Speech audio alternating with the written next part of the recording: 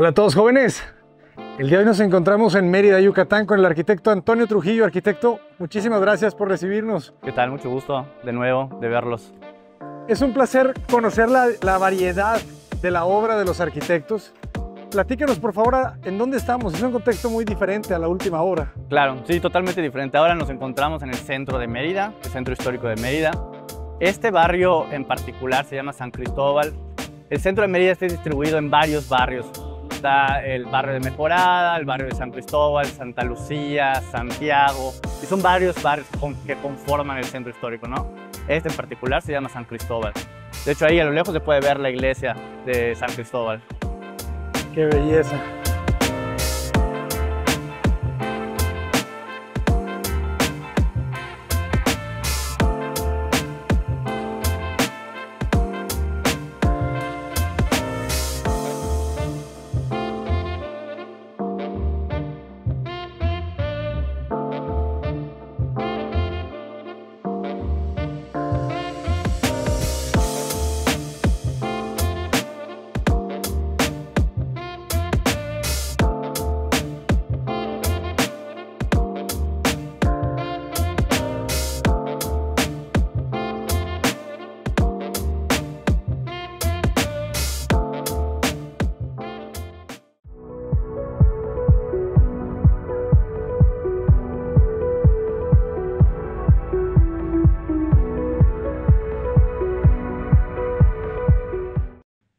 Que estas calles son, son muy contrastantes, ¿verdad? Porque de repente sientes como que la calma, ¿verdad? De, de otra época, pero luego tienes también pues mucha, eh, mucha afluencia vehicular, pero de repente se vuelve a calmar, o sea, es muy, muy diverso, ¿no? Sí, sí, sí, o sea, la, la zona en general, excéntrica, de pronto, como, como tú lo comentaste, ¿no? Puede ser como muy escandalosa o hay mucho movimiento, pero también hay horas particulares en las que no hay nada, ¿no? Hay silencio total.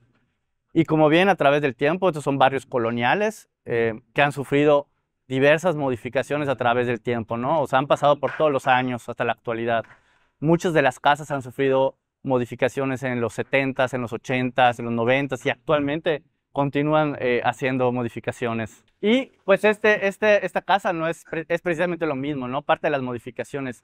Si bien la fachada en algún momento tuvo una fachada colonial, como, como lo fue la mayoría de las casas que están acá alrededor, tuvo una, una modificación que lo podemos ver precisamente en este volumen, ¿no? Podemos ver cómo hay una losa que, que vuela, que eso actualmente no está permitido, eso es una modificación que se habrá hecho hace mucho tiempo.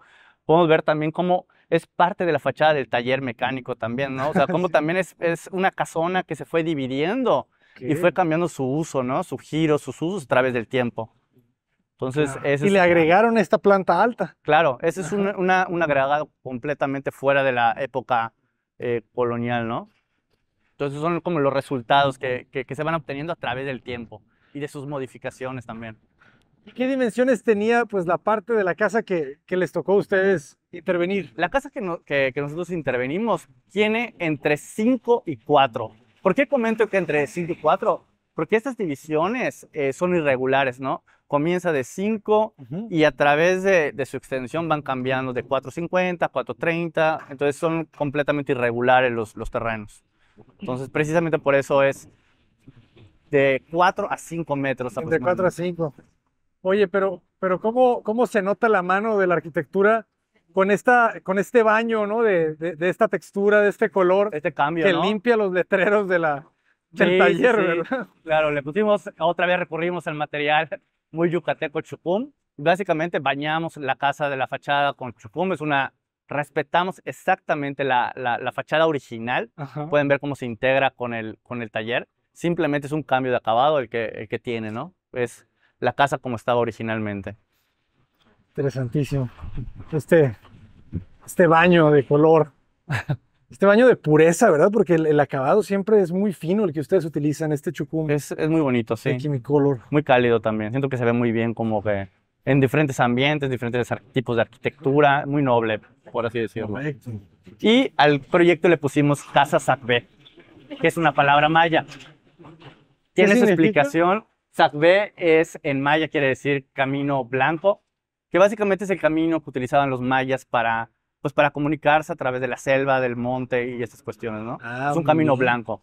Entonces, eh, pues reinterpretamos más o menos este camino blanco al interior del patio, ¿no?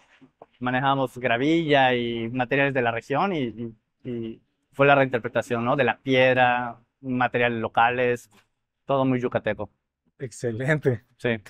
Y empieza también la intervención, ¿verdad? La puerta muy fina también. La puerta también es de cedro, material igual que vimos en la casa anterior, que también es cedro, es un material muy utilizado acá en, en, en esta zona, ¿no? Se lleva bien con la humedad. Muy noble, sí, sí, sí. Eh, muchos de las puertas, mobiliarios, de hecho muy antiguos, son precisamente hechos de cedro. Entonces es algo común en esta parte de, de México, ¿no? Utilizar el cedro como material. Muy bien. Pues Prepárense, jóvenes, porque recuerden que aquí siempre hay, hay magia detrás de las puertas. Pásenme. Fíjense cómo va a bajar la luz. El cambio de, de iluminación fuerte a una iluminación más tenue, ¿no? Y más, más cálida. Que te enfría, ¿verdad? Psicológicamente te enfría de- Sí, sí, del sí, sol tan intenso, ¿no? De la luz tan intensa que hay allá afuera. Y pues en este proyecto ya pudimos abarcar un poquito más de lo que es ya un poco de diseño interior, un poco de propuesta de mobiliario, eh, trabajar ya en el interior. Este fue un proyecto que, que Trías desarrolló como inversión de- del propio taller. Ah, genial. Entonces es un proyecto que, que Trías eh, colaboró con diferentes eh, inversionistas, por así decirlo, con diferentes personas que trabajaron acá.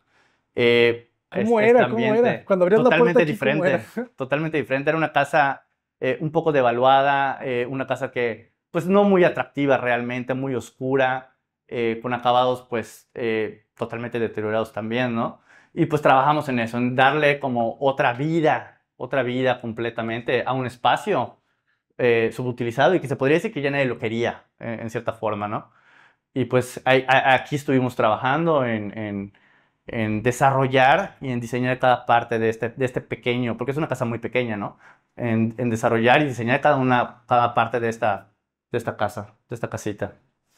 Y me contabas que esta altura de la losa no es la original de la casona, ¿verdad? Sí, No eran sí, sí. casas de techos bajos. Como les comenté anteriormente, esta casa ha sufrido, y no esta, muchísimas del centro, han sufrido diversas modificaciones a través del tiempo.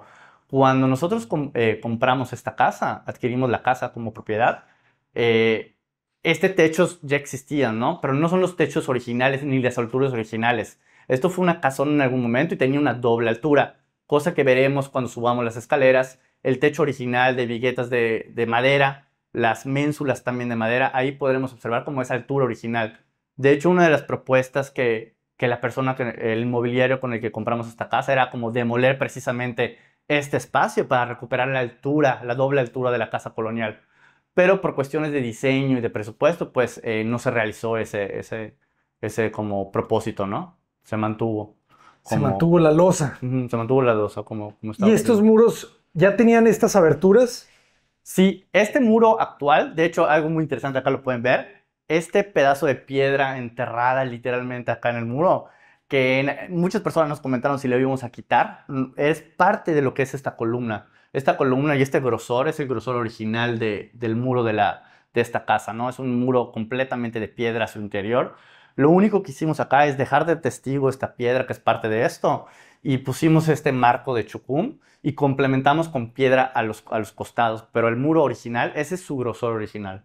Entonces es algo muy interesante, ¿no? De, y muy típico de las casas eh, pues, coloniales y de los métodos constructivos que, pues, que se utilizaban en esa época, ¿no? Excelente. O sea, eran unos muros. Sí, unos muros muy gruesos, ¿no? Y totalmente diferente a, a cómo concebimos ahorita los, las técnicas constructivas. Y te digo, trabajamos en, el- en, el- en la ambientación interior, en el mobiliario. Eh, hicimos ya una cuestión ecléctica en cuestión de diseño interior que nos, que nos gusta mucho manejar, ¿no? Que es esta cuestión de que si bien este eh, sofá lo adquirimos en una tienda departamental, bueno, hay muchas cuestiones que se adquirieron en bazares, en mercados, eh, productos hechos por artesanos locales, o sea, podemos ver este tipo de, que están muy ahorita en tendencia, ¿no? O este elemento de madera también. Son productos y diseños y elementos totalmente locales, totalmente artesanales, eh, adquiridos aquí en estas tierras, ¿no? Entonces eso, eso es algo como que muy rico, ¿no? Que nos gusta mucho jugar entre comprar tal vez un mueble de, de una tienda departamental y completamente complementarlo con, con accesorios eh, y elementos locales y de artesanos. Qué bonita sensación de todo, otra vez, de esta continuidad material que, que trabajan ustedes, tener el mismo material en el techo, en los muros, en el piso, te da una sensación de, de, de, entrar otra vez en una roca, en una piedra de chucum, no sé cómo explicarlo, Sí, de- con mucha fuerza, pues te envuelve el espacio, ¿verdad? De hecho, cuando estuvimos pensando en el nombre de la casa, precisamente es un poco lo que nos comentas. O sea, a final de cuentas, sa- ve esa referencia de Camino Blanco, ese Camino Blanco que es de piedra, ¿no? Y pues básicamente la piedra está presente, yo creo que al 100% en la arquitectura de esta casa, tanto el chucum como las piedras y todos los elementos arquitectónicos y estructurales son piedra básicamente. Entonces fue ese que, que, que escogimos este nombre para bautizar como este pequeño proyectito, ¿no? Esta pequeña casa, Casa Sacbé.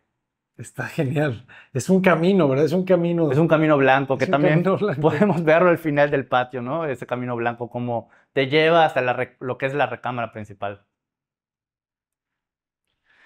Aquí ya pasamos la- al espacio de la cocina. Hay unos detallitos que todavía falta por terminar de carpintería en este closet, que es un closet básicamente de instalaciones, ¿no? Eh, la- los espacios son muy reducidos y a veces tenemos que trabajar con, pues, con lo que tenemos, ¿no? Entonces, los espacios reducidos, creamos un closet de instalaciones donde albergamos el calentador de gas, el presurizador, el tablero eléctrico. eh, eso va totalmente oculto con puertas de madera, ¿no? Tenemos acá una tarja eh, muy funcional. eh, tenemos también una, parrilla eléctrica. De hecho, algo, algo interesante que, que hemos estado implementando en los proyectos, digo, yo creo que por, por practicidad de pronto, por costos también, es que ya no utilizamos instalaciones de gas. O sea, hacemos los proyectos y eliminamos completamente las instalaciones de gas, ¿no? O sea, Buenísimo. esta parrilla es completamente eléctrica y los calentadores también son eléctricos. Entonces, eliminamos ese, ese tipo de instalación. Entonces, es algo como, Es como más, interesado que, que hemos implementado en algunos proyectos, ¿no? Está genial y siempre que se pueda. Sí, ojalá- claro. porque Claro, la que, el- proyecto lo permita y el cliente, ¿no? También. Claro, claro, claro. Sí, sí, sí. No todo el mundo le gusta cocinar en, en- en estas parrillas, pero, pero es muy, muy práctico. Sí, claro, definitivamente. claro. Puedes generar tus paneles fotovoltaicos que produzcan tu energía y ya no Sí. necesitas energía a base del, Sí, del claro. petróleo. Qué bonito cómo entra la luz, ¿no? O sea, de, de- de entrar en esta luz más, más baja, poco Sí, a poco la, el, el túnel, este túnel de, de- este túnel blanco te va invitando a, De iluminación. a llegar a la luz, ¿verdad? Y acá les puedo comentar igual como un elemento como estructural de la casa original, y es que los espacios eran muy oscuros, ¿no? Y aquí este espacio donde estoy parado completamente era un espacio totalmente cerrado, que prácticamente como que impedía la iluminación hacia el interior de la casa. Lo que hicimos acá, tuvimos que demoler este, este muro y, y colar una, una trave aquí que pudiera soportar esta estructura para poder permitir tanto las visuales al exterior como la, la iluminación entrar a la casa, ¿no? Esa fue una intervención que se hizo. Y prácticamente a partir de esta trave, todo lo que está posterior a esto es obra nueva, es obra actual, eh, hecha de vigueta y bovedilla. Es algo como Y se mantiene al mismo nivel de la losa. Se mantiene al mismo nivel. Sí, sí, sí. De hecho, este, este nicho fue algo muy curioso también que hicimos. Eh, como no queríamos apoyarnos en el muro, en este muro, porque este muro es un muro eh, compartido. De hecho, muchas de las casas del centro Ok. comparten muros. Entonces no queríamos apoyarnos sobre este muro precisamente por temas del vecino y para no incomodar. Entonces lo que hicimos es que hicimos nuestro propio muro, un muro delante. Ya en este muro pusimos una trave y en este muro colamos las viguetas y las bovedillas.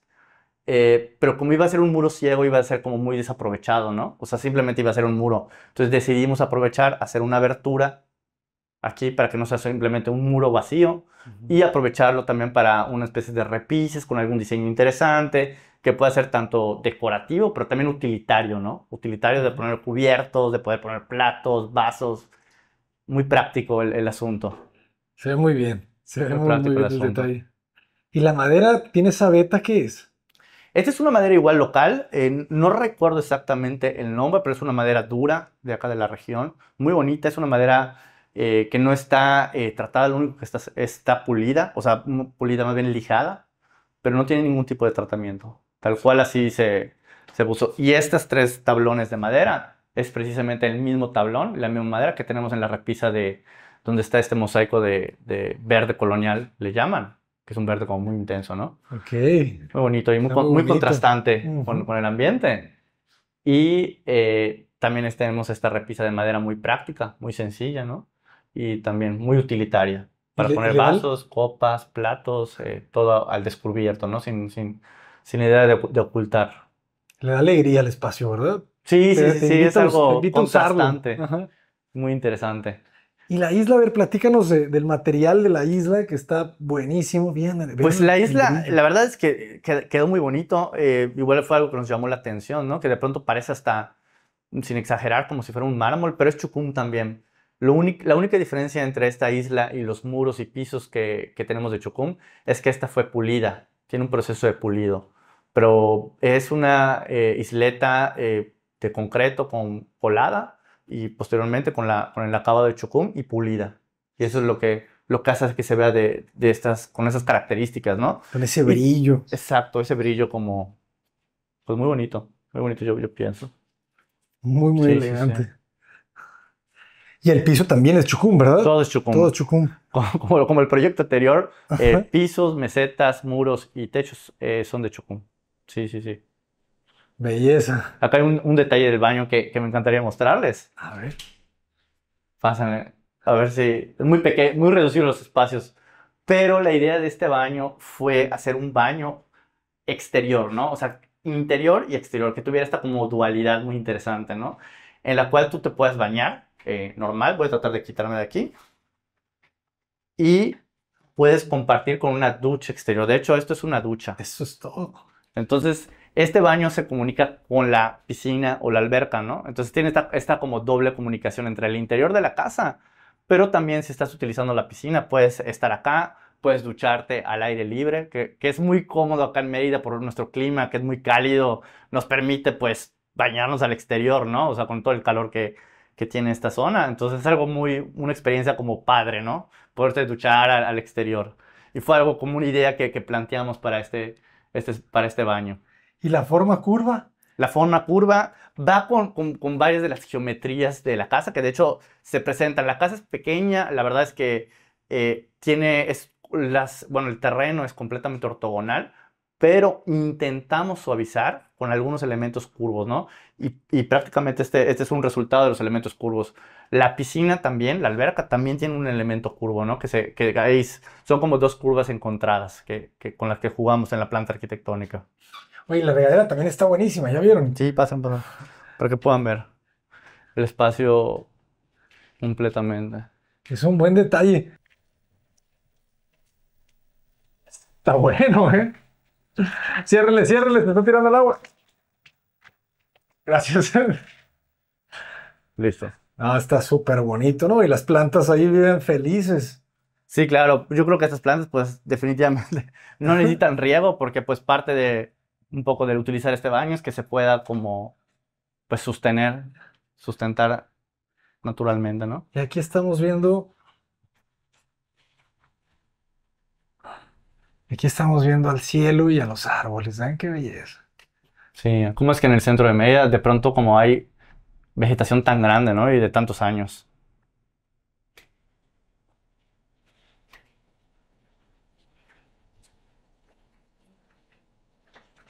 Muy bonito el baño. Otra vez, siempre los mismos materiales, estas Los mismos cubiertas. materiales, sí. Qué buena mano de obra, ¿eh? Sí. Igual estas mesitas están pulidas. Pulidas, sí. Y este es mármol, ¿verdad? Sí, este es mármol. Mármol. Dándole un toque. Sí, así es. Excelente. Entonces, este es el baño del, del- de la casa. Este es el baño, el baño de visitas y baño de la casa también. Ok. Eh, hay un segundo baño, pero ese baño se encuentra en la recámara principal. ah, bien, Entonces, bien, es bien. el baño de visitas y de la casa. Pero le dejaron baño completo por si alguien se queda a dormir aquí en la sala y así. Exactamente, Está muy exactamente. bien. O si quiere dormir en la parte de arriba, también podría, Ah, claro, es que hay parte de arriba. Ahorita la vamos a ir a ver, claro, podría dormir.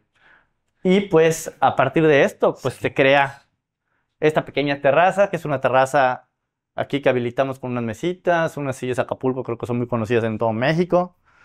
Y pues nada más es una, básicamente es un espacio para estar, ¿no? Para estar, para convivir, para platicar, para sentarte con, con un amigo. Ese es el objetivo de, de este espacio, ¿no?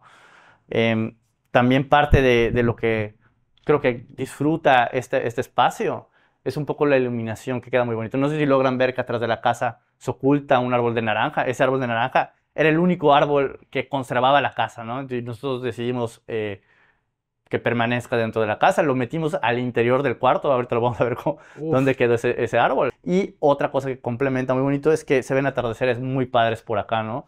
Precisamente esta fachada está, eh, el lado izquierdo está orientado al poniente, que es el atardecer. Entonces, pues se disfrutan como atardeceres muy bonitos, ¿no? Que, que se ven muy padres con la, con la fachada. Este espacio está muy rico. Sí, pasa. Se, se calma, ¿verdad? Y ahí está la curva otra vez. Ahí está otra vez la curva en esta, en esta piscina pequeña, en esta alberca pe pequeña que pusimos, que también es como para estar. Tiene un, una banca, una banca corrida, para que te, pues te puedas sentar tres, cuatro personas allá, ¿no? A estar disfrutando de la, de la, del agua. De la tarde, del La piscina cielo. también es de chucum. Y ese es el color que, que, que les comentaba que adquiere, que, que, es muy como buscado esto, ¿no? De por qué las piscinas también se hacen de chucum. Este color como verdoso, que adquiere. Es, es como una de las características o propiedades que tiene el chucum con el agua, de, de, que es un color como turquesa claro, y se da de manera natural. Es algo muy, muy bonito. Sí, el agua turquesa del chucum es una belleza. Exacto. Vean aquí cómo se entienden las dos curvas del proyecto. Y es que también te suaviza, ¿verdad? Ese, ese, ese paso. Sí, es un paso que se creó, que como, como tú lo comentaste, ¿no? Que son dos curvas. El proyecto es muy pequeño y es muy ortogonal. Y, y, es, de pronto las curvas pueden ser como caprichosas, ¿no? De utilizarlos en proyectos tan pequeños. Pero bueno, buscamos la forma de poder vincular estas curvas, tanto la del baño como con, con la de la piscina, y que no se sintiera como algo saturado, ¿no? Sino que se sintiera como algo que fluye más bien. Entonces, bueno, eso fue parte de lo que estuvimos planteando en el proyecto, ¿no? Cuando... Y esas huellas de concreto también. También, también un poco para romper, claro. Son huellas eh, de concreto y un poco para romper con la ortogonalidad de, pues, de todo. Pues tenemos esos elementos que fuimos metiendo y que, se, y que haga que se sienta diferente el espacio. Está genial. ¿Qué dimensión tiene entre, entre ventana y ventana? Entre esta ventana y esta ventana son 12 metros. ¿12? Aproximadamente, sí aproximadamente. La casa en su totalidad tiene 25 metros. 25 de fondo. Sí. Sí, me sonaba como un 8 entre, la, entre donde estoy yo y la Aproximadamente, ventana. sí. Sí. Muy bien. Entonces hay una sorpresa detrás de nosotros. Y Qué bonitas pues, las llaves, también bien cuidadas, ¿eh? Sí, ahí. llaves tratamos, de chorro muy elegantes. Tratamos de meterlas en, los accesorios en color negro para que fueran como contrastantes y así. Y de hecho ahí tenemos este arbotante que igual es circular, un poco igual, tratando de romper. Hay varios elementos circulares que si se van fijando en el, en el proceso, es pequeña la casa, pero se tratan de meter estos elementos circulares y, y, de curvas para hacerla como interesante y diferente, ¿no? Entonces fue parte del diseño que, que, que logramos hacer. Y pues esta es la recámara principal. Eh, si quieren podemos pasar. Pásenle. Las puertas también tienen este medio arco. Son puertas, sí.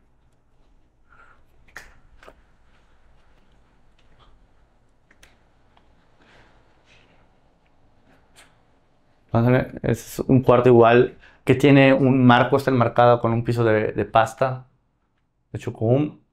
Es un cuarto muy sencillo, pero que creo que cumple su objetivo, ¿no?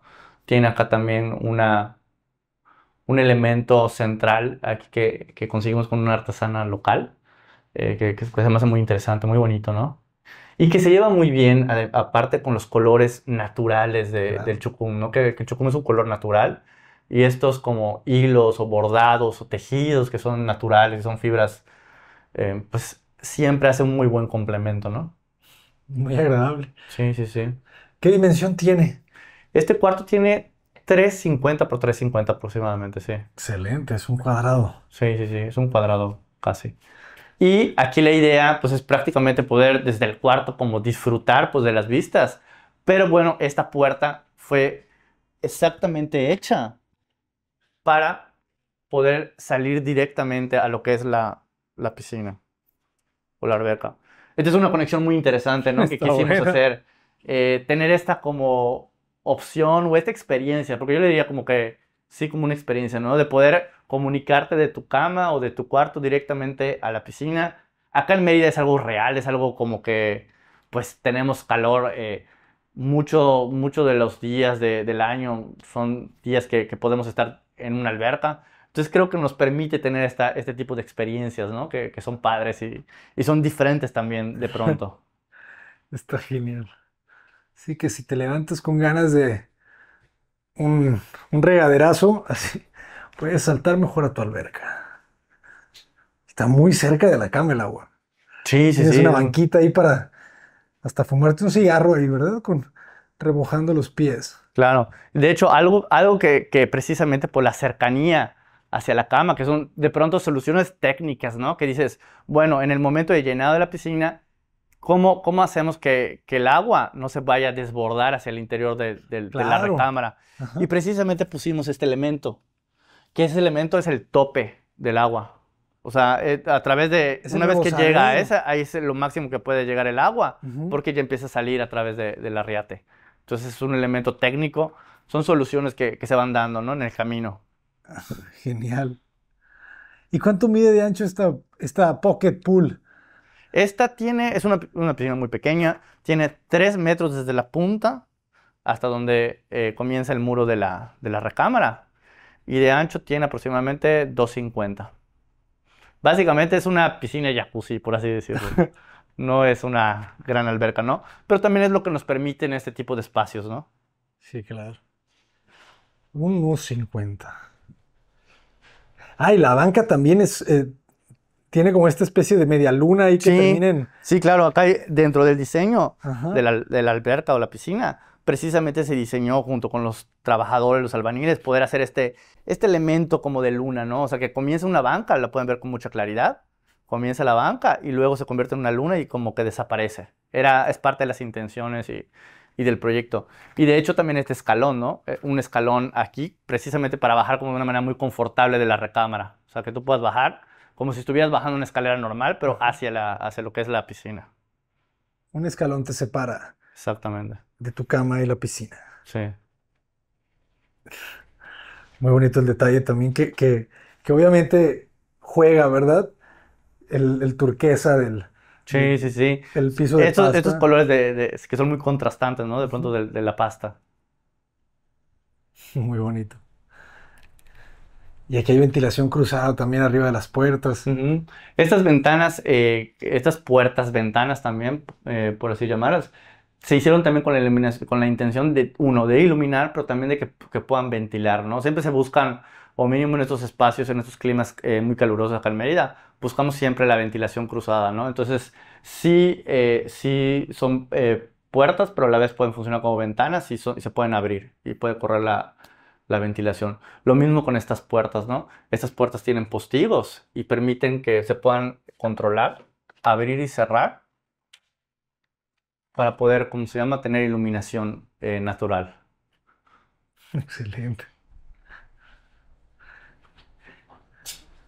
Sí, si no, si la cierras cuando te vas a dormir, Claro, luego no te levantas porque parece que nunca amanece. definitivamente. Exacto.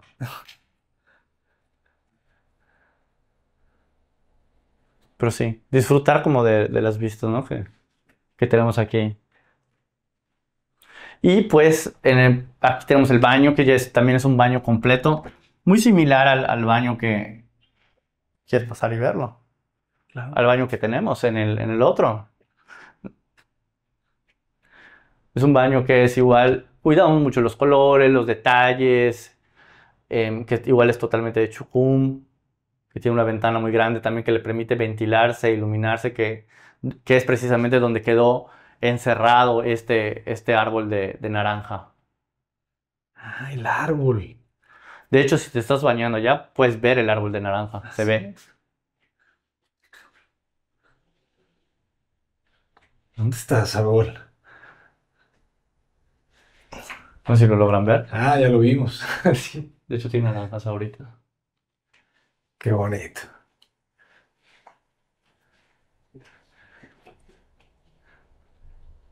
Hay una iguana.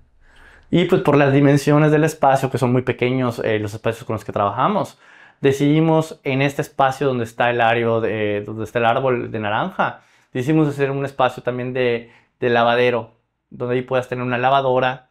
Ahorita está como bodega porque todavía no está habilitado, pero es un espacio que tiene todas las, pues sí, todas las instalaciones necesarias para poder tener una lavadora, una secadora y un pequeño área de almacenamiento, de limpieza. Genial. Si quieren verlo. Baño uno, Ahorita está como 80. bodega realmente, pero pues acá pueden apreciar cómo se llama. tener alrededor de 2, 2.40 de largo este baño, ¿verdad? Y esta pieza, o sea, la recámara, las ¿ustedes la decidieron? ¿Las dimensiones?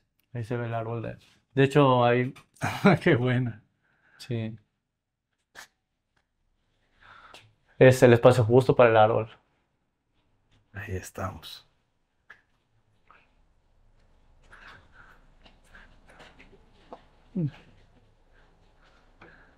Con su buen muérdago. Nada, pues un lugar muy bonito. Muy agradable de estar. ¿Y ya está en Airbnb? No, todavía no. Todavía no la... eh, Estamos finalizando ya los últimos detalles que... Algunos de carpintería y algunas cuestiones. Ya para que pueda estar en su, en su destino, ¿no? En Airbnb. Empezar a, recibir visitas. Claro. Todas las, Quiera- personas, todas las personas que, vayan a- que quieran conocer Yucatán o Mérida. Claro. Esperemos que cuando salga este video ya les podemos dejar la liga. Sí, sí, ojalá que sí, claro que sí, ya está. Seguro que se las pasamos. Ah, Es que es súper súper especial experiencia que brindas, ¿no? Con estos lugares. Sí. Definitivamente no se compara con quedarte en un cuarto de hotel, ¿verdad? Es lo que yo les comento. Yo creo que sí, la experiencia es muy diferente. Yo creo que la experiencia eh, de, un, de un la, la- lo la experiencia que te puede dar un hotel creo que es una experiencia igual ma- maravillosa, pero me parece que la de que te pueda dar una casa de Airbnb y sobre todo una casa que sea local, ¿no? Una casa con elementos locales, con la comodidad de poder disponer del espacio completo, o sea, es otro tipo de experiencia también muy padre. Y la sensación de, de, pues, de privacidad, Claro. ¿no? Que, que te da el, el rentar una casa, Sí, sí, a sí. diferencia de estar en un hotel que, pues, que sientes que todo el mundo te está observando todo el tiempo. ¿no? Es otra experiencia. Es otra experiencia. Sí, sí, sí. Definitivamente no se la pueden perder. Y por último, le- les muestro la parte de arriba de, de- de esta, de esta pequeña casa. Que yo un poco lo, comparaba, ¿no? De, pronto, eh, cuando estamos diseñando y diseñamos una recámara, ¿no? Eh, de 4x4, de 350 por 350, bueno, el ancho de esta casa es como una recámara. O sea, todo el ancho de la casa completa es de 4 a 450. Entonces, termina siendo el mismo ancho de una recámara. Y ahí es donde podemos, igual como arquitectos, diseñadores, como usuarios, ¿no? Pensar qué tanto se puede diseñar en, en este tipo de espacios, ¿no? O sea, cómo, cómo en un espacio de 4, 450 te permite, eh, pues, diseñar una casa con todas las eh, confortabilidades que puede tener un- un- una casa normal. Entonces, creo que es algo interesante también para un buen reto para nosotros de pronto, ¿no? Definitivamente. Y eh, pues por último, si quieres subir, tenemos esta- estas escaleras que son, eh, son las escaleras que tenía la casa. Lo único que hicimos acá Ah, es ok. cubrirlas de chucum y ponerse estos escalones de, de madera y acompañarlos de estas luminarias de piso, ¿no? Pero eran, los esca- eran las escaleras que, que, que tuvo la casa cuando nos las vendieron. Ok. Entonces decidimos conservarlas tal cual. Pues estaba bastante bien hecha, ¿no? Sí, son escaleras de, de concreto básicamente. Como dos traves. Y yo creo que estas escaleras se debieron haber hechas en los 80s, 70s aproximadamente. Muy bonitas. ¿Qué tendrán de ancho? Como unos 90, 80, aquí de repente Sí, 70. son, son aproximadamente, van variando también su, su tamaño como lo pueden ver, Ajá. pero tienen entre 80 y 70 y, y van variando. Y luego- Estos dos espacios todavía no están habilitados, pero se piensan utilizar como una segunda recámara o un estudio. Acá se podrán dar cuenta de los techos que son muy bajos, pero precisamente ¿Qué altura tenemos, perdón? acá tenemos aproximadamente 2 metros 10. 2.10, ok. Y en el segundo eh, cuarto sube un poquito más la altura, a unos 2.30. Estuvimos trabajando con, con- con estas medidas, que son muy pequeñas. Eh, era un poco lo que les comentaba. Originalmente nos proponían la demolición de, este, de, este, de esta losa para recuperar esta altura original de la casa colonial y recuperar la vista de estas eh, vigas metálicas y de madera en doble altura. pero se salían fuera del presupuesto que teníamos y del proyecto que estábamos lanzando. Y decidimos conservarlo como, como la casa se encontraba, ¿no? Que ahorita las vigas eh, son metálicas, eh, pero se ve claramente que, las, que tanto las viguetas de arriba como estas ménsulas son de madera, esas son originales. Entonces, ahí te habla de una intervención posterior, ¿no? O sea, el, el techo es original, pero te habla que hubo una intervención en la cual cambiaron las vigas de madera por unas vigas metálicas. Entonces te digo, e, es un poco lo que te digo, es una casa que seguro que ha visto muchas historias, que ha, visto muchas intervenciones, ¿no? Entonces, eh, esta es otra más de, de, las intervenciones que, que, ve esta casa. Esperemos que sea la última en mucho tiempo. Ojalá que sí, ojalá que sí. y al final el remate con esta ventana postigo que te regula la luz. Ahí podemos ver, tenemos una ventanita que condensa como la vista hacia estas fachadas eh, a veces muy bonitas, a veces deterioradas de piedra, que son parte pues, de la historia de Mérida y pues que, que a final de cuentas son como muy pintorescas y como eh, muy bonitas desde mi punto de vista. Totalmente. Entonces aquí sería la, la otra recámara, ¿verdad? Sí, sí. Aquí iría la cama. De hecho, eh, precisamente por temas de, de, ¿cómo se llama? De, de, de alturas, no se pusieron ventiladores y se prepararon con nichos de aire acondicionado para que puedan funcionar. Funcionan con ventilación cruzada, o sea, tenemos esta ventana y esa ventana, ambas recámaras, pero tienen la opción de aire acondicionado. Entonces, dimos estas dos opciones, ¿no? Excelente. Arquitecto, pues muchísimas felicidades por este gran trabajo. ¿Cuánto tiempo les llevó la obra? La obra, eh, bueno, el, el proyecto lo, lo iniciamos el año pasado. Eh, nos llevó aproximadamente, entre lo que viene siendo el desarrollo del proyecto y la construcción y adecuación, nos llevó aproximadamente 10 meses. Ok. 10 meses en su totalidad. ¿Y un costo aproximado de, de, de, metro cuadrado de construcción de la remodelación de, este, de esta intervención? Yo creo que estaría rondando en los 16 mil pesos como mínimo como mínimo. Ok. Y un, algo igual muy, muy importante destacar, porque sé que hay muchas personas que de pronto están muy interesadas en invertir en el centro, comprar y, y adecuar espacios. Eh, estas casas en su mayoría, no, no, no, no, puedo decir hablar por todas, pero en su mayoría carecen de todo tipo de instalaciones. O sea, no, si tienen instalaciones eléctricas, son muy deficientes, son muy antiguas, no tienen instalaciones hidráulicas, no tienen instalaciones sanitarias muchas veces, no tienen cisternas ni, ni biodigestores ni tienen instalaciones de aires acondicionados. Entonces, algo que como es un tip que, que nosotros recomendamos al haber emprendido este proyecto es cotizar de cero las instalaciones. O sea, si quieren tener eh, luz eléctrica actual, si quieren tener eh, un buen sistema sanitario, hidráulico, con presurizador, hidroneumático, con una cisterna, con todos estos elementos actuales, yo, yo les, les paso este tip y es cotizar una casa, este tipo de casas, desde cero en cuestión de instalaciones. Excelente. Si algo le sirve. Totalmente. Arquitecto, pues muchas gracias otra vez por compartir realmente su trabajo, sus formas de trabajar. ¿Cuáles son las redes sociales para que los puedan contactar? Claro, eh, tenemos nuestra página de internet, ahí estamos tratando de actualizar siempre los proyectos, es www.triamx.com y el Instagram que es tria, arroba, arroba tria, guion bajo, mx son nuestras dos eh, pues, redes favoritas. Excelente. Y siempre los invitamos a que, a que los contacten también en enobra.org. Descarguen la aplicación completamente gratuita para buscar todo lo que estés, que, que, que, que necesites para tu construcción, desde un arquitecto, un plomero, proveedores de, de instalaciones hidrosanitarias, en fin, todo, todo lo necesario. Arquitecto, muchísimas gracias. Una no, vez muchas, más. no, un gustazo que, que, vean los proyectos, me encanta. Es un Qué placer. Bueno. Ojalá que podamos seguir conociendo mucha arquitectura de ustedes. No, ojalá que sí, cuando quieran. Nos veremos muy pronto. Nos vamos a dejar con, pues con la maca, ¿verdad? Sujeta paredes. Adelante.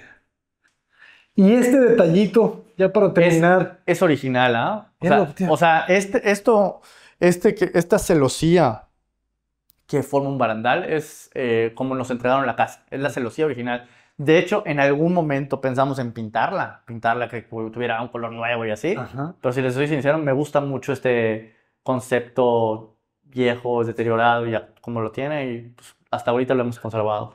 Como... ¿Y qué? ¿Cemento? Sí, son, son celosías de cemento. Sí, celosías de cemento. Muy comunes acá. Excelente. Qué buenos dibujos, ¿verdad? Sí, muy geométricos, ¿no? Ajá, como unas estrellas. No sé. Sí, porque el centro es la típica celosía, ¿verdad? Pero el extremo es como esta Y, y yo sabré también de, máscara, qué, no de sé. qué época son. Yo creo que cuando hicieron la intervención del, del techo es cuando habrán puesto esta, este barandal. Ah, sí. Vayan a darle amor a las redes sociales de los arquitectos de Tría. Y ojalá que se puedan hospedar aquí y cuando se hospeden, nos etiquetan ahí en el canal, en Instagram, en YouTube. Ya nos vamos jóvenes.